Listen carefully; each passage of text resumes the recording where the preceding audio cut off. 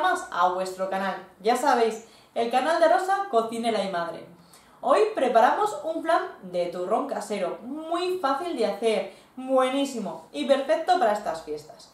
Y como siempre, ya sabéis que antes de empezar con la receta os enseño los ingredientes, así que vamos a verlos. Y los ingredientes que vamos a necesitar son medio litro de leche entera, 6 huevos medianos, 300 gramos de turrón blando tipo Gijona, 50 gramos de azúcar, una cucharadita de esencia de vainilla.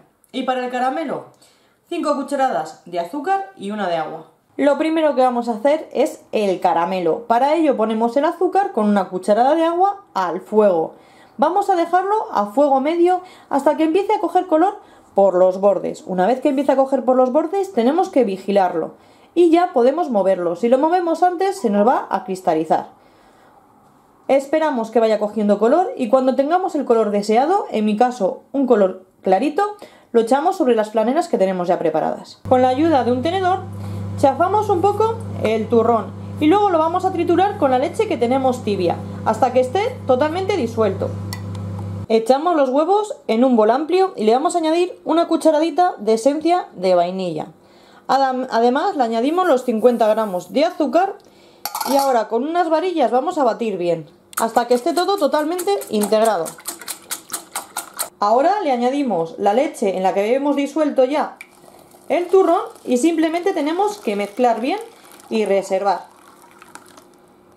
Reservamos la mezcla mientras ponemos el horno a calentar a 175 grados con calor arriba y abajo. Ahora con mucho cuidado vamos a rellenar las planeras. Como veis el caramelo ya está sólido y lo he puesto en una bandeja que necesariamente tiene que ser alta, ya que tenemos que cocer los flanes al baño María. En esta eh, bandeja vamos a añadir agua caliente. Como os decía, con mucho cuidado rellenamos las flaneras. Como veis me voy a ayudar de una jarrita para no verter nada.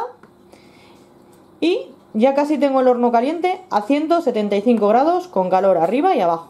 Como os había dicho, para esta cantidad os van a salir de 8 a 10 flanes. Ahora voy a rellenar la bandeja con agua caliente con mucho cuidado de no manchar los flanes. Si tenéis más mal pulso, esto lo podéis hacer perfectamente en el horno. Bueno, relleno la bandeja con agua caliente, lo meto dentro del horno que tengo caliente a 175 grados, ¿acordáis?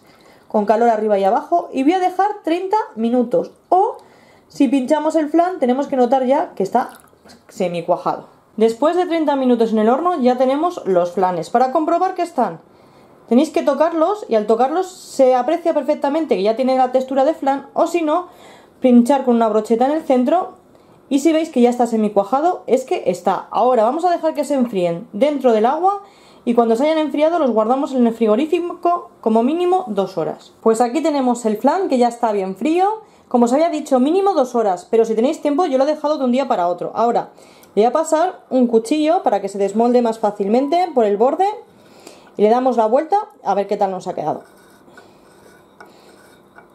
Así. Y ahora pegamos unos golpecitos y listo. Fijaros qué buena pinta. Ya tenemos un flan de turrón muy sencillo y que queda perfecto. Pues ya tenemos listo este flan de turrón que os aseguro que está buenísimo. Como siempre, espero que os haya gustado la receta. Si es así, os animo a compartir y a que le deis un like. Y aquellos que todavía no estáis suscritos, animaros a suscribiros para ver un montón de recetas más. Ya sabéis que nos vemos dentro de muy poquito con otra nueva receta. Chao.